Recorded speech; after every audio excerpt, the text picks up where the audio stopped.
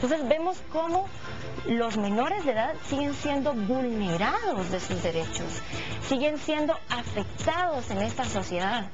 Hay que recordar, señores, que estamos viviendo una situación muy difícil en la sociedad guatemalteca. Estamos viviendo una pérdida de valores total. ¿Qué va a pasar entonces con estos menores de edad que van creciendo, que en algunos años van a ser quienes van a tomar las decisiones en el país? Porque nosotros ya no estaremos, pues si estaremos presentes, pues no vamos a ser los que vamos a tomar las decisiones. Si desde ya les estamos quitando herramientas. Es algo preocupante, es algo lamentable que esta situación siga así. Y yo quiero unir esta, esta nota de los menores de edad con algo que aparece en siglo XXI Ahora les digo en la página, en la página 8. Liberan a grupo de ilegales, los tenían indígenas. Autoridades migratorias mexicanas rescataron a un grupo de 36 inmigrantes indocumentados, entre ellos siete guatemaltecos, de una comunidad de agricultores de Chiapas mantuvo retenido porque el, camino, el camión que los transportaba clandestinamente dañó sus cultivos. El Instituto Nacional de Migración de México informó ayer que los indocumentados, entre quienes se encuentran seis menores, estuvieron retenidos en la escuela del poblado Rancho Narváez de San Juan Chamulá, donde viven mayoritariamente indígenas. vemos esto. Tenían a un grupo de 36 inmigrantes retenidos contra su voluntad porque el camión dañó sus cultivos. De ellos, siete eran guatemaltecos. Y de los siete guatemaltecos, Mario, seis eran menores de edad. Vamos a esto. ¿Qué pasa? ¿Qué pasa en el país? ¿Dónde están las oportunidades que nosotros somos los encargados de brindarle a los menores de edad? ¿Dónde están? No puede ser que nosotros seamos los responsables. En primer lugar, que un porcentaje tan alto esté consumiendo marihuana. Y después, que tengan que salir del país, correr los riesgos que corren. Puede ser que muchos de ellos ni siquiera logren llegar al país del norte. Les estamos quitando oportunidades y se van porque no tienen oportunidades, tal vez porque tienen hambre, porque tienen frío. Y aquí saben que no van a poder salir adelante. Señores, esto es un llamado, tenemos que abrir los ojos ante esta situación y no podemos permitir que esto sea una cifra más y que todos los días sigamos mencionando situaciones similares. Hay que hacer algo al respecto y hay que hacerlo ya. Sí, el, tema del combate al narcotráfico, yo insisto, no es un tema de policías y ladrones ni soldados, es un tema mucho más complejo que tiene sus raíces eh, precisamente en la desigualdad, en la pobreza, en la falta de oportunidades. De verdad que eh, al, final, pues eh, sí, en el caso de Costa Rica, por ejemplo, se, se han liberado las denominadas drogas soft, pues, drogas no tan, con efectos no tan fuertes, digamos, como son estas drogas sintéticas que habla prensa libre que sube la popularidad en Guatemala su consumo como son las metanfetaminas, sales de baño, MDMA y marihuana sintética. Estas drogas están siendo más consumidas por los jóvenes guatemaltecos según esta nota. El tema es que eh, si ni siquiera estamos, eh, si ni siquiera hay un ordenamiento y como tú bien dices, si ni siquiera somos capaces de que los jóvenes hoy en día eh, vemos a cuánto niño que es utilizado para sicariato, enrolado en pandillas juveniles, los utilizan para eh, matar a pilotos del transporte colectivo.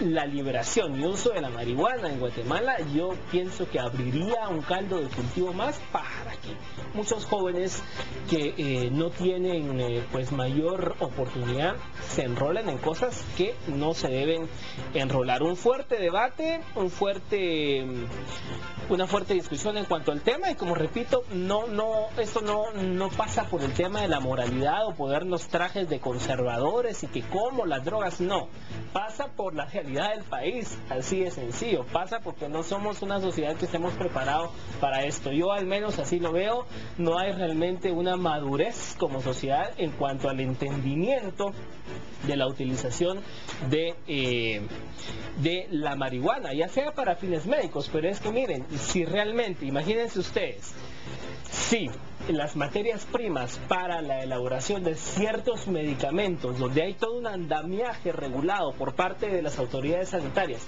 son utilizadas para la elaboración de drogas sintéticas, ¿quién nos garantiza que la marihuana, al abrir y al despenalizar su consumo no van a ser utilizados para otros fines delictivos, para fines de trasiego, para fines, en fin. Así que un fuerte debate, esperemos eh, qué eh, sucede con el tema que se va a tratar en la Asamblea de la OEA acá en Antigua Guatemala. Pasamos ahora a página 12. Mayor riesgo es por deslizamientos.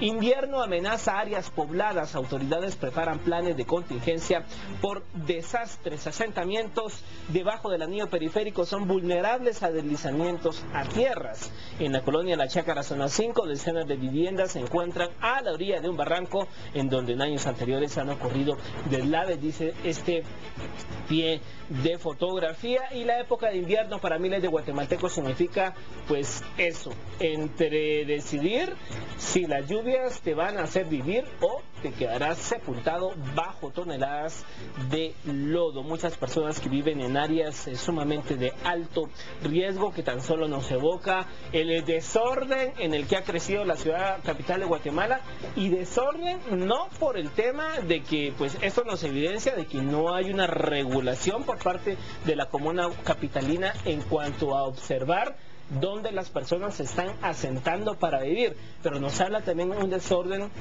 en cuanto a que las personas pues no tienen dónde eh, eh, llamar un techo, hogar, una vivienda digna y se tienen que ir a ubicar donde pues donde puedan ver que, que puedan montar algo. Hay que decirlo, también hay bastante oportunista que haciéndose pasar como un guatemalteco pobre va a invadir eh, terrenos, eh, se va a instalar en hogares eh, y ponen como carne de cañón a familias que realmente lo necesitan y después les cobran el pedazo de, terreno. O sea, es, es un desorden total, un desorden total, pero el tema de la vivienda sí es sumamente preocupante. Miles de personas eh, se asientan en estos barrancos, en laderas, donde el invierno en años anteriores ha hecho estragos. Y vemos que se preparan las autoridades y esto es año con año año con año y no aprendemos. Y no aprendemos y año con año, soterrados, niños que se les vienen cerros encima, familias que quedan eh, completamente en la calle. Y el tema de la vivienda, pues no le ponemos mayor atención, no le ponemos mayor atención al tema de los asentamientos. Y año con año hay que estar lamentando que eh, personas pues pierdan la vida bajo toneladas de, de concreto, de árboles, de tierra, que pues bueno, en su afán de buscar un lugar al cual llamarle hogar y vivir. Yo quisiera resaltar solo un punto de esta situación y es que a lo largo de los años, como tú mencionabas Mario, se ha visto que en el momento que se desea evacuar a las familias de estos lugares de alto riesgo, no quieren abandonar sus hogares. ¿Por qué? Porque tienen miedo que les roben las pocas pertenencias que ellos han logrado acumular y no quieren dejarlas pues en este lugar y que se las lleven. Por otra parte vemos que debido a esto muchas familias han sido soterradas y tenemos que lamentar luego cifras de personas fallecidas. Pasamos ahora rápidamente a la portada del siglo XXI. Las cifras cuentan una historia detrás de los cuerpos. Eh, este es el titular. Van 180 inhumados sin identificar entre enero y el 2 de mayo de 2013. Vamos a ampliar esta información en la página 2 y 3 brevemente. Em, dan a conocer que un gran porcentaje de personas que han fallecido a lo largo del presente año han tenido que ser enterradas como XX.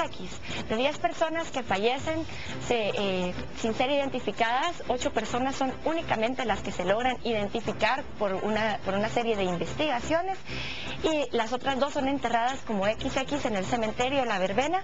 Les dejo esta nota si usted tiene la oportunidad de leerla para poder ampliar esta información y conocer el terror terror de miles de familias guatemaltecas viven al no saber el paradero de sus familias. Sí, eh, pareciera estar uno leyendo notas de los años 70, 80 eh, de esa Guatemala tan oscura, pero no, es la realidad al 2013. Vamos a una pausa, ya venimos con noticias a la CTA.